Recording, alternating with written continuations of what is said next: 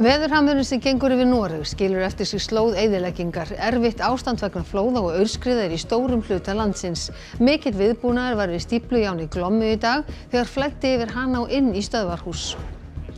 Innviðar á þeirra tilur ólíklegt að íslensk stjórnvöld sækjum undan þáur vegna mengunar skatt sem tilstendur að setja á skipaflótan. Allar greinar þurfið að taka þátt í baráttunni gegn loftslagsváni. Verslunarmannahelgin fór vel fram á landinu öllu og óvinni fá kynferðisbrot hafa verið kærð til lögreglu. Verkefnastjóri hjá ríkislögreglustjóra segir mikla umræðu hafa varpað ljósi á alvarleika kynferðisofbeldis. Engin byður um að koma með drullustarfsemi hingað inn, segir formanandi grænna yðngarða um fyrirtæki sem ætla að setja stað í einni stærstu byggingu landsins sem einu sinni átti að verða álver í Helguvík. Eigendur rúmfattalaгаrsins segja að nafnið endurspegla ekki lengur vöru úrval fyrirtækisins og því breytist það í jisk á haustugum.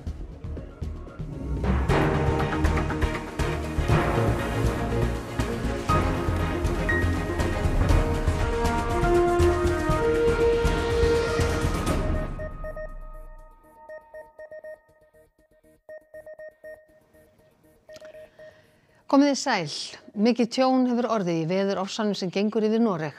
Hús, vegir og brýr hafa eyðilagst. Á skapaðist hættu ástand við vassafsvirkjum þegar lúur stíplu virkuð ekki sem skildi. Lögregla, sprengjusveit og herin fóru að stíplunni í morgun og til skoðunar var að sprengja hlutaðinnar til að hleypa vatni í gegn og minka þrýstingin. Vatn flætti yfir stípluna og inn í stöðvarhús. Ekki er vita hvað gerðist en allur stjórnbúnaður var óvirkur. Det som har skjedd her nå, det er at eh, det er en havari på kraftverket. Eh, kraftverket har rett og slett drukna. Eh, det er ukontrollert forbitapping nå. En ser jo sjøl hvor stor Glomma er nå. Vannet renner ukontrollert forbi her. Þegar leið á daginn fór þó svo hluti stíplunar brast og vatni komst sína leið. Óttast var að flæðamyndi yfir byggð og voru íbúar 20 húsa fluttir á brott. En er viðbúnaður og fólki ráðlagt að halda sig fjarrri glommu og öðrum ám. Þá er fólk beðið að býða með alla þungaflutninga því vegir séu víða ótraustir. Fregnir hafa borist af tveimur sem slösuðust alvarlega eftir að hafa fallið í ári í vikunni. Þá fannst maður látin í stöðuvatni í bænum Otta í söðurhluta Noregs í dag. Þúsundir hafa verið fluttar á brott frá heimilum sínum vegna flóða og örskriða þar á meðal 2300 manns í víkensíslu í austurhlutanum. Þá eru nokkur þorp umlukin vatni og íbúar króaðir þar inni. Á rauðasvæðinu má sjá hvar staðan er verst. Det er en dramatisk opplevelse i livet å måtte flytte fra hjemmet ditt, og særlig for barn og de som er sårbare. Jeg er jo glad for at vi nå har klart dette uten større eh, skader, og at vi tar vare på liv og sikkerhet. Det er mange som bidrar til det. Jeg vil takke frivilligheten, Røde Kors, Folkehjelpa, andre som er ute og, og, og hjelper til. Så det er jo å, å, gi uttrykk for støtte til dem og håpe at de kan flytte tilbake så fort som mulig når det er sikkert og trygt. Spýtur, prammar og ímislegt berst með ám og jafnvel heilu sumarhúsin eins og í Hemsetal í söðurhluta Noregs í dag. Sérfræðingar veðurstofu landsins hafa aldrei sé eins mikil flóð í ám í söðri og heldu þau áfram að aukast í dag. Framkemur í yfirlýsingur á þeirra þjóðaröryggismála að hamfarinnar hafi áhrif á líf margra og að skemmtirnar séu miklar. Staðan sé mjög erfið í stórum hluta landsins. Einar Sveinbjörnsson veðurfræðingur, þetta er einhverja almestu hamfara rigningar í Nóri á undanförnum árum og nú er normin ekkit óvanir rigningu. Hvað er það sem veldur þessu? Já, þetta eru svakalega myndir. Já. Sko það má eiginlega segja þannig, alls ekki óvanir miklum regningum en mm. þá eru það aðalega á, uh, úr vest, komur vestir, komur úr Allandshafinu en þarna má eiginlega segja það að hafi komið uh, heilmikið vatn aftana þess að úr söður og söðaustri með uppurinn og miðjararhafinu og jæfnvel svartahafinu mm -hmm. og, og að fjallendinu sem skilur að Östur-Noreg og Vestur-Noreg mm. þar sem að ringdi gríðarlega mikið, 100 mm. til 150 mm á tveimur sólarhingum, kannski ekkit svo óbáslega háar tölur en það var það ringdi bara svo, á svo stóru svæði mm. og, og átnar þurfa að taka við þessu öllu saman og jarðvegurinn var nokkuð blöytur fyrir. Mm. En segð okkur nú, víst, myndið að tala auðvitað sínu máli, en er þetta óvinnilegt, er þetta sjálfgeft? Sko, ég fyldist vel með núna Vestlunarmennhelgina hvernig normenn voru að vara við þessu svona í hægum skrefum og það var talað um að þetta geti orðið 25 ára atbörður á þessum slóðum mm. en vatnamælikerfi í Noregs er, er, er, er ansi fullkomið og þeir eru að langar raðir til dæmis í glómu mm. og uh, nú í dag sá ég það að það var verið að tala um 50 ára flóð mm. á ansi mörgum mælum.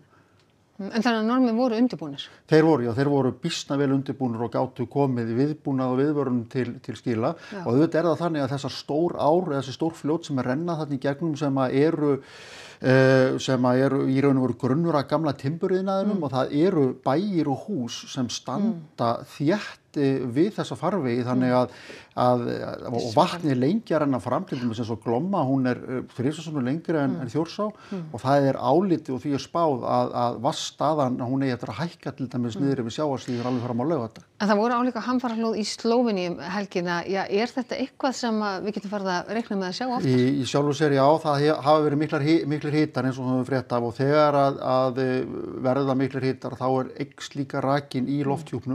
mm. og úrkomu atbyrðir eða þetta regnið verður ákavara mm. og uh, við gætum alveg átt vona á einhverju slíku, ég er ekki að spá því að það geti alveg orðið hér í haust þegar við förum að fá haustlæðirnar og þetta hlýja á, hlýja á raka loft sunnar og allansafi, við þekkjum dæmum um slíkt. Ég segi þannig að þetta geti teikt sér hinga. Ekki þetta við verðum einhvert annað síðar í haust. Já. Einar Sveinfjörnsson, takk kærlega fyrir þetta og við snúum okkur þá að allt öðrum. Hver einasta grein þarf að leggja sitt að mörgum í barátunum við lofslagsvána og þar er skipaflótin ekki undanskilin, segir innviðar áþurum fyrir húðan mengunarskatt.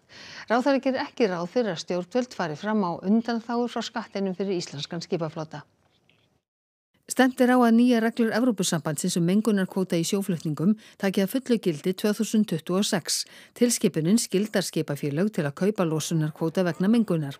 Utaríkisráð þeirra sagði í fréttum í gæra fram til þessa hefði skipaflótin ekkert greitt fyrir mengun og mengunarkvótin væri hluti af háleitum markmiðum í loftslagsmálum sem Ísland tæki þátt í. Er þetta óumflíjanlega gjöld? Já, þetta eru þetta þannig að hver einasta grein þarf að leggja sitt að mörgum eh, til þess að takast á við lofslagsmálinn og uh, það er verið að færa þetta smátt og smátt inn í þetta ETS-kerfi sem við erum aðilar að eins og normenn. Uh, Bretar sem eru gengnur út á Europasambandinu hafa líka áform uppi að taka þátt í þessu kerfi til þess að búa til réttu kvartana Sigur Ringi segir að öll skip yfir 5.000 brúttótonnum eigi eftir að þurfa að greiða þennan skatt og sennilega 50% af honum. Minni skip þurfi ekki að greiða þennan skatt en það þurfi hins vegar skemmtifyrðaskipin að gera. Í fréttum okkar í fyrradag gaggrindi forstjóri Ymskips Íslensk stjórnvöld harlega og sagði þau ekki hafa staðið sig í hagsmunagesslu en miljardakostnaður ætti eftir að leggjast á skipaflutninga. Við höfum metið það að þetta er til að mynda allt, allt annað heldur en er fyrirhuguðu álögur sem voru settar á í flýð. Sér þið fyrir þeirra Ísland farið fram á undanþáur fyrir íslenskan skipaflóta? Já, á ekki endilega að vona því, en við erum eins og segi, það er samtal í gangi um útfæslun og við vitum ekki nákvæmlega hvernig útfæslan verður. Uh, þar á meðal uh, er hugmyndir upp um það að, að einhver eigur geta fengið einhver undanþáu. Það er nú ekki talið líklegt að það sé Ísland því að það er korki Malta, Kýpurni, Krít. Óvinni fá kynferðisbrot voru tilkynnt á landinu öllu um vörslunamanna helgina. Fulltrúi ríkislauruglustjóra í starfsópi gegn kynferðisofbeldi segir umræðu síðustu ára hafa varpað ljósi á alvarleika brotana og langvarandi afleðingar. Vestlunamanna helgin er nýja af staðin en margir kannast við harða umræðum kynferðisofbeldi sem fylgist líkum hátíðum. Síðast árið 2016 neituðu fimm hljómsveitir að spila þjóðhóti í Vestmanniðum þegar lauruglustjóri Vestmanniða breytti upplýsingargjöf til fjölmiðla um fjölda kynferðisafbrota. Nú er af sem áður var. Verslunumannahelgin í ár gekk óvenju vel, ekki aðeins í Vestmanniðum þó tilkynning hafi borast um kynferðislega áreitni, heldur einni á bæjarhóttið Akureyrar þar sem engar tilkynningar um kynferðisóbildi hafa enn borist. Því er ekki vegi að spyrja hvort kynferðisábrotum fari fækandi.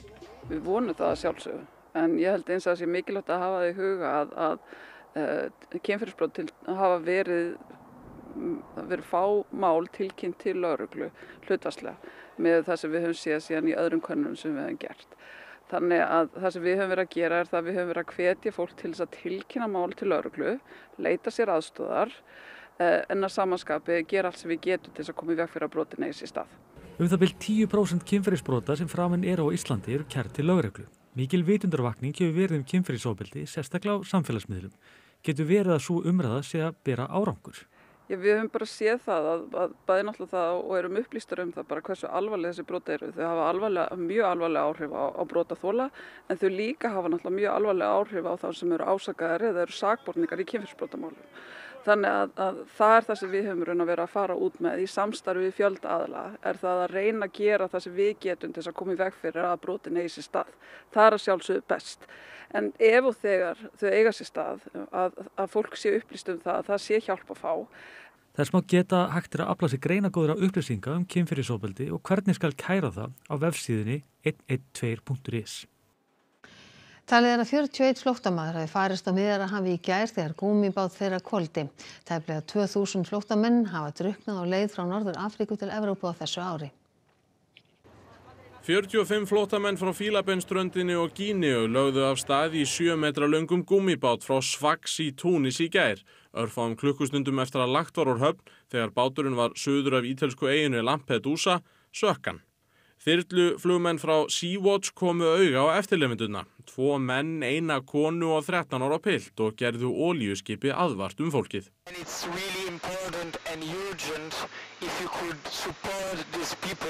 possibly taking them on board and giving them water and food. Over. Can I give to him uh, food and water?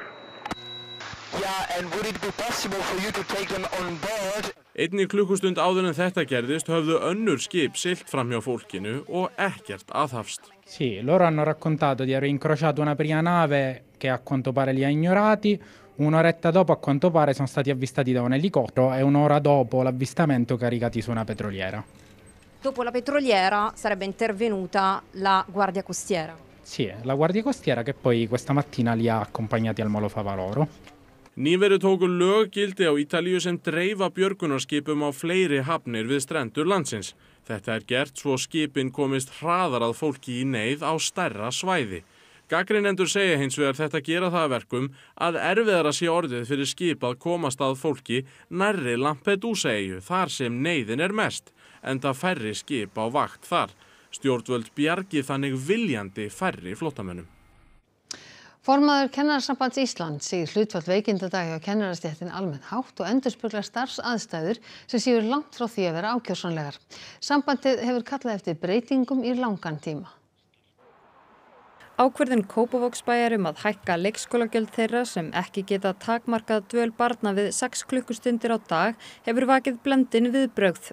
Bærin segist verið í patt stöðu hvað varðar aðstæður starfsfólks á leikskólum en líkt og fram hefur komið þá eru 39 veikindadagar á ári á hvert stöðugildi í skamtíma veikindum hjá starfsfólki á leikskólum í Kópavogi. Þessi veikindadagar miða við allt árið 365 daga. Sér starfsmæður veikur á förstu degi og mánudegi telst helgin einning með. Formaður Kennarasambands Íslands segir þetta háa tölu en hún komi sér ekki endilega á óvart. Þróunin hjá Reykjavíkuborg hafi verið svipuð á síðasta ári. Ég ætla alls ekki að draga þessu tölur í efa. Það er þannig að við höfum verið undanferna ára að heyra það frá sveitafjölugunum og í rauninni kannski ríkinu líka að, að, veikinda fórföll í, í okkar stjættum, kennarastjættum, eh, séu há bæði þá þar sem við erum að tala um skamtíma veikindi sem eru svona þessi tilfallandi veikindi og eins þá í lengri veikindum sem eru þá oft tengt álægi eða hlutum sem, að, sem að eru þá langtíma veikindi. Kennarasambandið hafi lengi talað fyrir bættum starfsaðstæðum kennara. Það er séu mikilvæg breyta í fjölda veikindadaga. Við þekkjum auðvitað nýlega dæmi og bara sem snúa til dæmis að, að miklu í, í skólahúsnaði sem hefur haft alvarleg áhrif á, á, á bara líðan fólks í þeim stofnunum og við höfum líka bent á það að, að hlutir eins og hópastarði sem þýðir, þýðir meira álag á, á kennara er eitthvað sem, að, sem að við teljum að hafi áhrif á, á, á, á líðan fólks og, og þá einmitt byrtist það þá í, í auknu veikinu. Leikskólastjórar í Kópavogi sem samband náðust við í dag en vildu ekki veita viðtal voru flest samal um að þetta skref hjá bænum væri jákvætt. Nú þegar hefðu þó nokkur börn verið skráði í 6 tíma vistun á komandi skóla ári. Strax sæðist mikil breyting þar á en síðasta vetur voru aðeins 2% barna í 6 tíma eða skemur í vistun á dag. Þetta eitt eftir að minka álaga á starfsfólk og börn. Þessi vænsta fyrstu fyrirtækin flytji inn í græna yðngarða fyrir áslokk. Gamla ófullgerða álverði Helguvík í Suðunisabæ á eftir að gjörbreyta um ásýnd. Álverði Helguvík er einn stæsta bygging landsins um 28.000 fermetrar á grunnflöti. Kostnar við að reysa það namum 27 miljardum króna. Fyrirtæki Norðurál Helguvík var tekið til gjaldrótaskipta í lok árs 2018 og eini kröfuhafinn var Century Aluminium sem rekur Norðurál á Grundartanga. Þeir Þór Sigfússon og Kjartan Eiríksson stopnendur Reykjanes Klasans EHF kiftu svo fyrirverandi tilvonandi álverið í vor. Við erum í viðræðum við fyrirtæki sem á að koma hérna. Það eru fyrirtæki sem er í ylrækt, það eru í eldi, það eru fyrirtæki sem er í livjaðinaði. Það er ótrúlega fjölbreytt flóra fyrirtæki en þau eiga það eitt sammeilegt og þau eru öll mjög græn sem eru þetta mjög ánægilegt. Kerskálanir tveir eru geysir langir 300 metrar og lofthæðin 17 metrar. Reiknað er með að þarna verði minst tvær hæðir jafnvel upp í fimm. Það þarf að fara í heilmikla frangvendir og það eru verið að gerða samhliða því og, og íbúar koma inn. Hver ætlaði að byrja? byrja? Við reiknum með jafnvel að fyrstu íbúar komi hérna inn í lók þessa árs. Næsta ár verði líka stórt hjá okkur. Áætlað er að grænu yðngararnir verður komnir í fulla nýtingu 2028 og kostnaðurinn við endurnýjunina nefnið 3 til 4 miljardum króna. Nú þegar hafa fyrirtæki óska eftir mjög miklu rými en leyendur geta líka leikt nokkur hundru þermetra. Á þessum palli þar sem við stöndum, það verður einhvers konar meðstöð eða?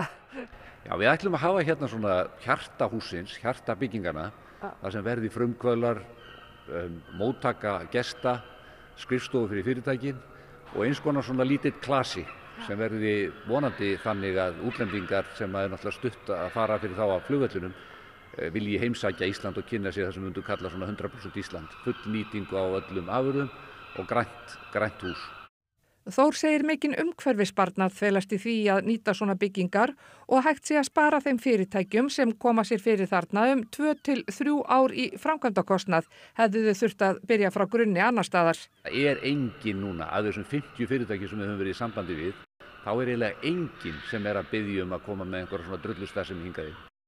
Þetta er allt græn starfsemi og það er það sem er svo gaman að gera þetta skemmtilegt verkefni. Frá grænu yðgörðunum er stutt niður í Helguvíkurhöfn og á flugvöllin og í vegasamgöngur og líka í rafmagn. Svæði þar sem einu sinni átt að vera stóriðja, álver og kísilver verist nú ætla að taka á sig allt aðra ásýnd. Ég held að séu allir inn á því bæjarfélagun ekki síst að hér verði byggð upp á, hjá, á fleiri svæðum græn starfsemi. Nafnið Rúmfattalagarinn heyri brátt sögunni til í Verslunarsögu landsins. Í næsta mánuði verður Rúmfattalagarinn að Jisk en þetta danska viðskiptaveldi er ekkur rúmlega 3200 verslanir í 55 löndum. Það er að vera síðasta tækifæri til að versla í Rúmfattalagarnum því að í lok september skiptir þetta gamalgrona fyrirtækjum nafn og heitir Jusk. Skoðanir eru skiptar hjá viðskiptaðinu. Hvernig líst ykkur á þessa breytingu á, á nafninu? Bara mjög vel. Þá verður þetta bara svona alþjóðlegt nafn og sem að þekki bara hver sem er. Við erum nýkominu utan og þar var Jísk til dæmis. En þú ætlar ekki að fara áfram í rúfatalæðin, er það? Ég verður ekki lengi að breyta þessu sko. Þetta er ekki, þetta er RF búin fyrir mér sko, rúfatalæðurinn. Mér finnst þetta nú bara stór skrítið. Akkur með ekki halda íslensku namninu? Rúmfatalæðurinn. Hm. Ég, mér líst bara vel á hana. Ég, hérna, ég þekk þetta bara frá Norðurlandunum og hérna, já, þannig að þetta leggst bara alveg vel í mig. Mér finnst það bara allt í lagi. Ef þetta er partur af einhverju keðju sem er víðar í heiminum. Manni finnst nú flest verið að fara, fara í þetta, þessu átt, sko. Þetta er verða eigenda skipta á öllu og við erum alltaf að sjá Ísland fyrirtæki lengur. Þannig að það hlýtt fyrir að fylgja að útlendingar auðvitað merkja sér þetta. Það er ekki dýtt að íslensk orð viki fyrir ellendum. Þessi drikkur hér heitir núna Bon Aqua. Hann heitir einu sinni Toppur. Og þetta hérna heitir núna Minute Maid en það heit áður Trópi. Og þessi drikki voru framleyndir af Vívilfelli sem nú heitir Coca-Cola. Örn Úlvar Sæfarsson vinnur hjá auðlýsingarstofu og segist að var skilninga á nafnbreytingunni. Þarna sé verið að einfalda markastefnu Jysk-kjæðunar á Norðurlöndum sem hétt Jysk Sengetöjslager þegar það var stopnað í árósum 1979. Ég held að það sé bara mikill hagur í því að, að, að nota íslenskuna. Ég held að Íslendingar vilji frekar íslensk heiti og sé mjög til í snjöll íslensk nöfn. En tilneying að taka erlendu vörumerki og svolítið snúaðum upp á íslensku. Við höfum séð þetta í, í, í svo kallari kannski, maður segja svona skamstöfunarvæðingu, þar sem að til dæmis Kentucky Fried Chicken verður KFC, Hennes og Moritz verða H&M og svo maður náttúrulega nefna líka bara erlend vörumerki sem er eiginlega orðið íslenskt, sem er Bugless Og þá að veðri. Í nótt gengur í austlæga átt á landinu víða 5-13 metrar á morgun en 13-18 með suðurströndinni og kvassara á stökustaf allra sýst. Dálítil regning öðru kvori sunnan á vestanlands engum framan af degi en annars skíjað með köplum og þurft. Það verður fremur slíkt í veðri en Kristín Hermannsdóttir veðurfræðingur hún fyrir nánar yfir veðrið næstu daga að loknum íþróttafréttum sem Kristjana Arnarsdóttir sérum í kvöld. Karlalandslið Íslands í Körubólta er að leið til Tyrklands en framöndan eru þrýr leikir í forkeppni fyrir olimpíuleikana. Þetta er náttúrulega mjög strempið, eins og að segja það. Það eru tólulið í heiminu sem fara á olimpíuleikana. Íslandsmóti í golfi hefst á Urðavelli á morgun. Sigmund Reynar Másson varð Íslandsmeistari á þessum sama velli árið 2006 og vonast eftir því að geta strýtt yngri kilvingum í ár. Og landslískonan Dagni Brynjarsdóttir á vona sínu öðru batni og spilar því ekki meiri fótbolta á næstunni. Og þá ætlum við að reyfi upp helstu aðtriði þessa fréttatíma. Veðurhamurinn sem gengur yfir Noreg skilur eftir sig slóð eyðileggingar. Erfitt ástand vegna flóða og örskriða er í stórum hluta landsins. Mikill viðbúnaður var við stíplujáni Glommu í dag þegar flætti yfir hana og inn í stöðvarhús. Innviðar á þeirra tilur ólíklegt að íslensk stjórnböld sækjum undanþáur vegna mengunar skatt sem tilstendur að setja á skipaflótan. Allar greinar þurfi að taka þátt í baróttunni gegn loslagsvanni. Verslunarmannahelgin fór vel fram á landinu öllu og óvinni fá kynferðisbrot hafa verið kært til lögreglu. Verkefnastjóri hjá Ríkislögreglustjóra segir mikla umræðu hafa varpa ljósi á alvarleika kynferðisofbeldis. Engin byður um að koma með drullustar sem er hingað inn, segir formælandi grænna yðngarða sem fyrirtæki sem ætla að setjast að í einni stærstu byggingu landsins sem einu sinni átti að verða álver í Helguvík. Eigendur rúmfattalagursins segja að nafnið endurspegla ekki lengur vöru úrval fyrirtækisins og því breytist það í Jisk á haustugum. Þessum fréttatíma er að ljúka og það er komið að íþróttum og veðri. Næstu fréttir er í útarp og sjónvarpi klukkan tíu í kvöld og nýjustu fréttir má alltaf finna inn á rúf.is. Við segjum þetta gott að sinni. Við þakkum ykkur samfélgina þessum aðverð þessum degi. Verðið sæl.